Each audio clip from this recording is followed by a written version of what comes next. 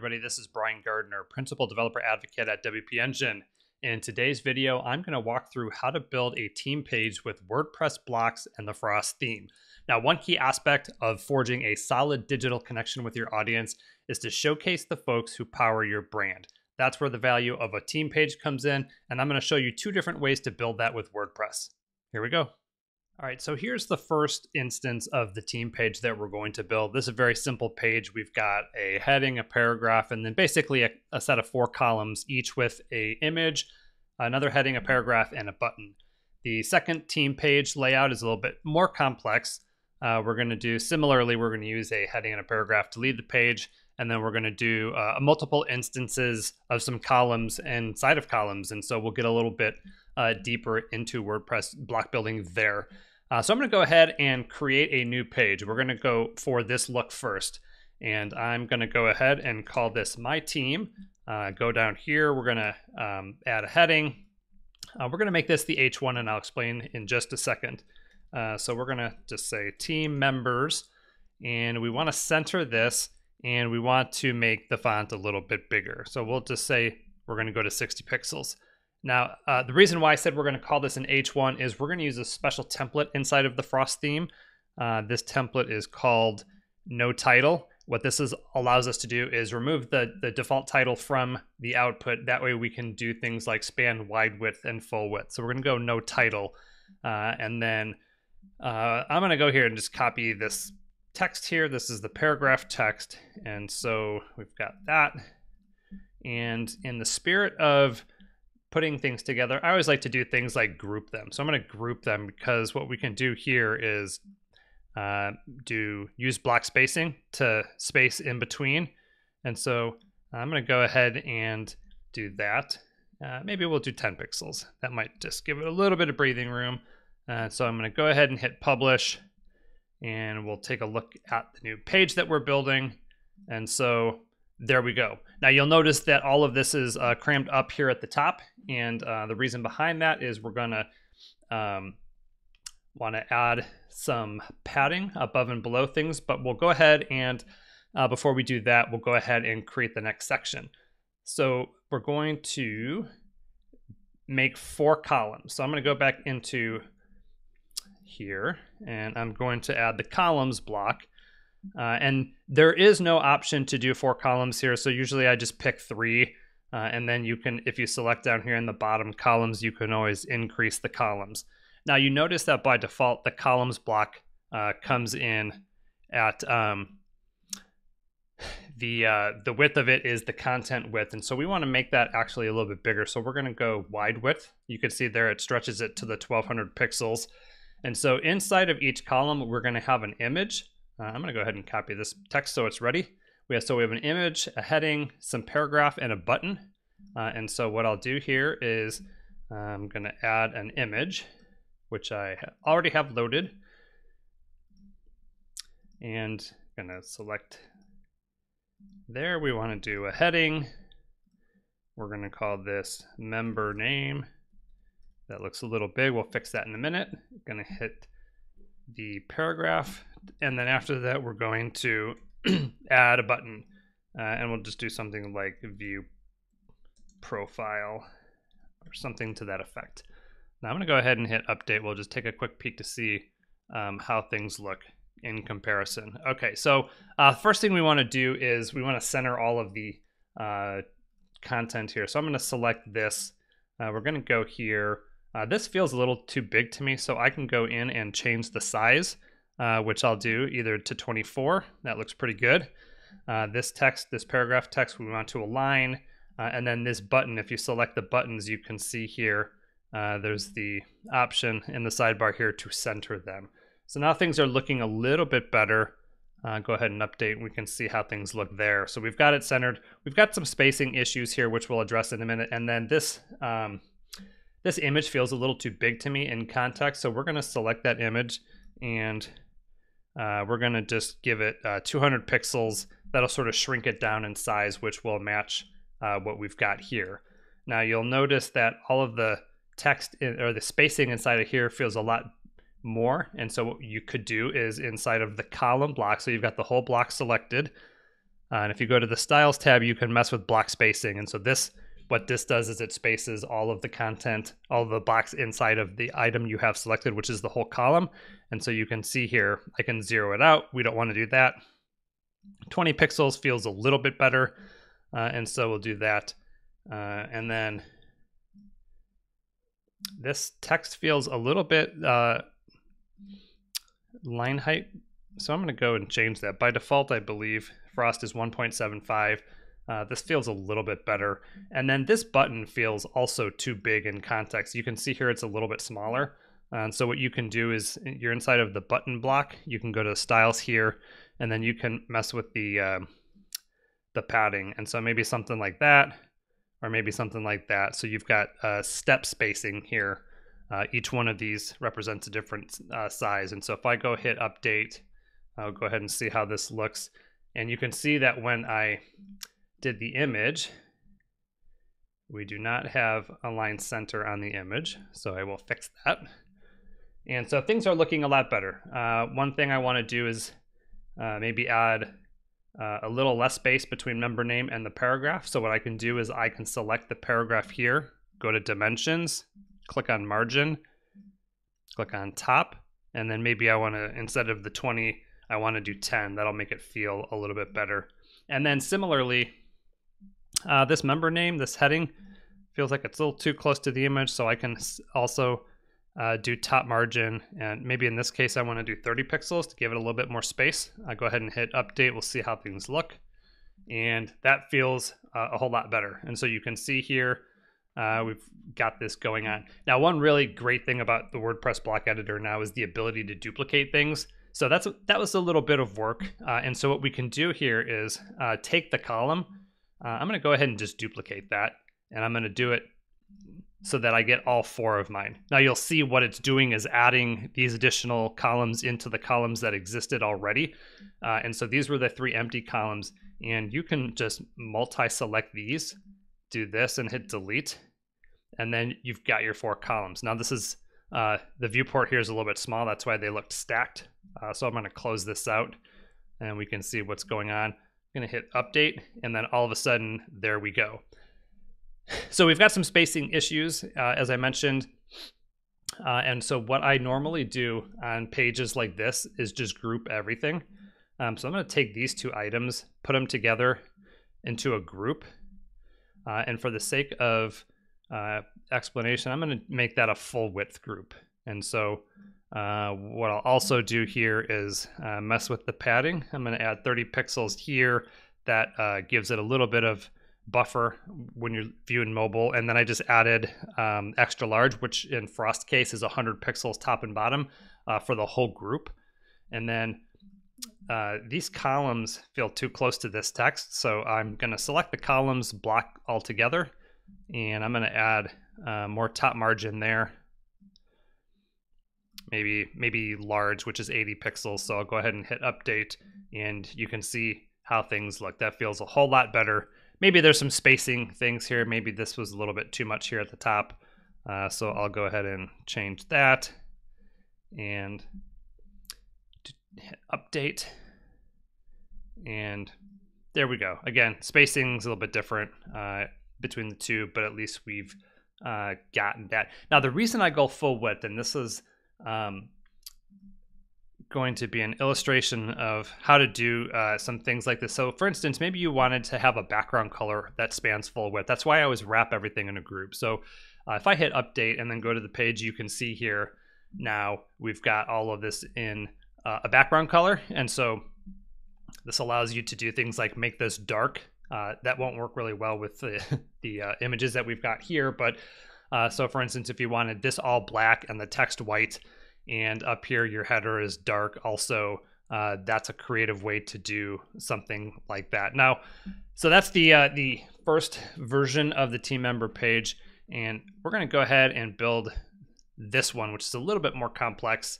And so I will go and um, I'm to copy this so I have it. I'm going to go add a new page. We'll call this my complex team. Oops And so again, I'm going to start with the group. I forgot to do that the last time. I usually start with the group.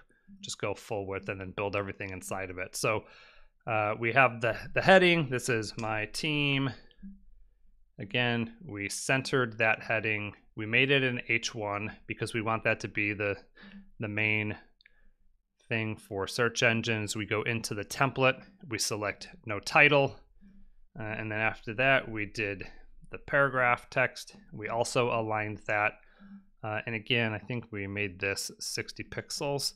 Um, now, a shortcut to wrapping these two items in a group and adding block gap to change the spacing, you can just go directly to the paragraph itself uh, and go to margin and go to top.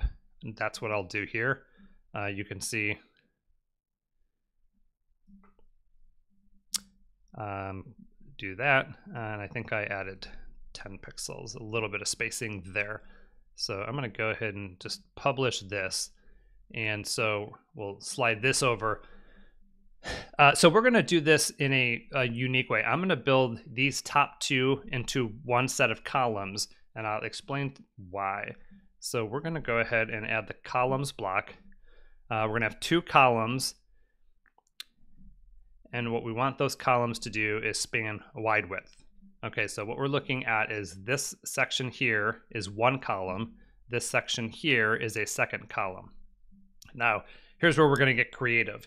Inside of this column, we're going to actually add two more columns, which will be this one item here, image column one, and then this in column two. Uh, and so what I'm going to do here is also add columns at 50%.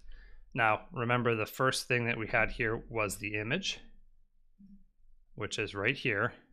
Um, uh, member name, and I'm just going to copy this text so that it's ready. So right here we had a heading, and below that we had text. Now you can see here there's not a lot of space between these two. Again, I'm going to select the paragraph and margin, and we're going to alter the top margin so it's not taking the default block gap, which is 30 pixels. And then this member name feels awfully big. I'm going to reduce that, that awfully small. We'll do something like that. Uh, and maybe we'll even reduce the, the size of this text. You could do that just to kind of help. That might be a little too much, but we'll just do a quick update and see how things look right now. Okay, so we're kind of getting there. Um, looks like we don't need to do this Okay. So first things we're going to do is we're going to select this column here, the left-hand side, and we're going to change the width of that column to 25%.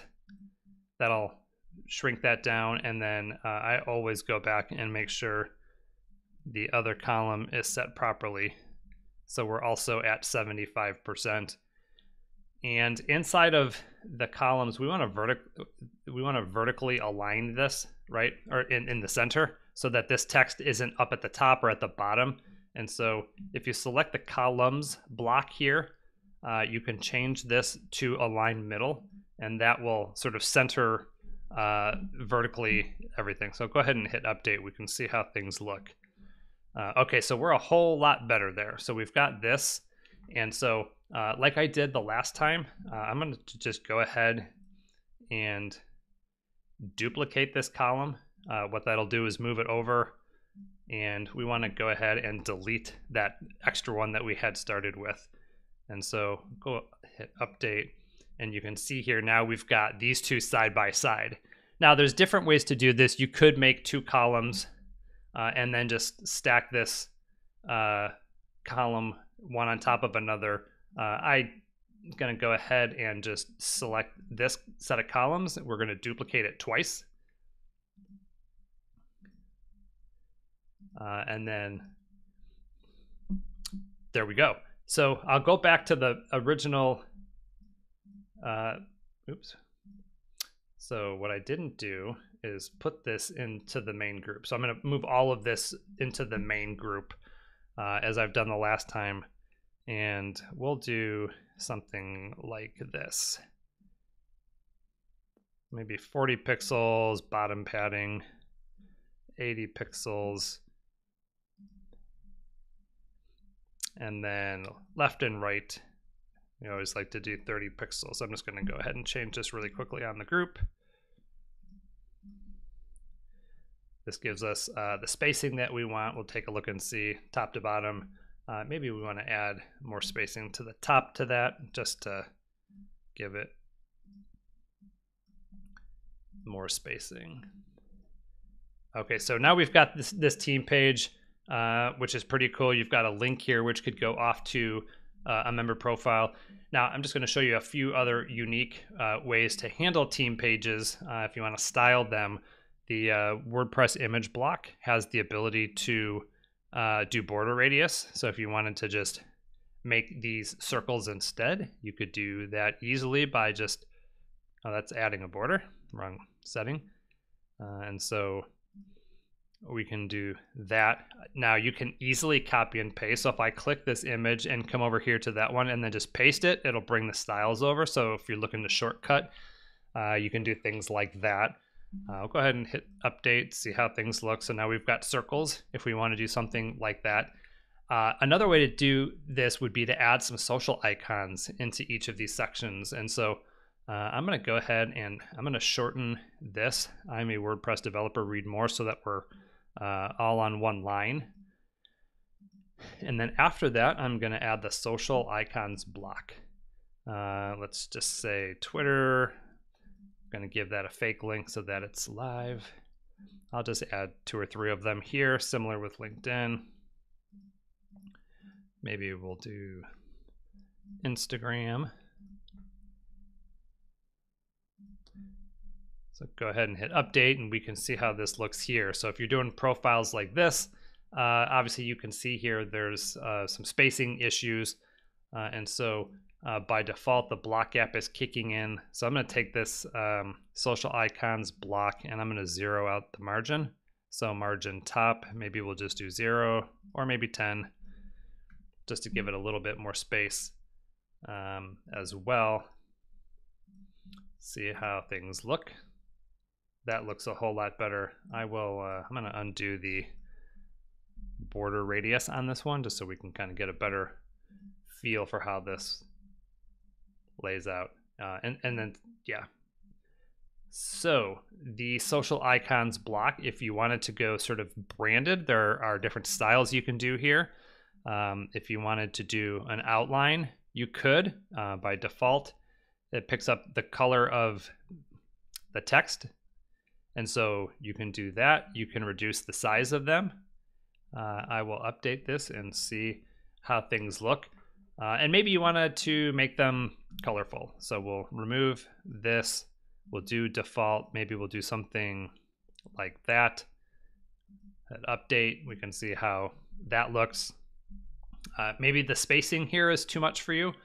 Uh, and so what you could do is you can select the social icons group, block spacing exists. Maybe you want five pixels instead that puts them a little together, or maybe you want to just do zero. Uh, so you can go ahead and do that that puts them a little bit closer together. And of course, there's different options as well. If you wanted to just do logos only, you can do that. Uh, you can change the icon color for the logos as well. Uh, we'll update that as well. Do a quick refresh. Uh, and you can see there's lots of different ways you can customize this. And so this is a, a little bit more of a complex way to do a team page uh, as well as the first way we showed you. So using Frost and WordPress blocks, very easy to do this. Uh, you just, you know, can go in and replace somebody's uh, image when they have a, a, a, you have a new team member. You can easily replace the text, copy the text, uh, the social media icons, and so on.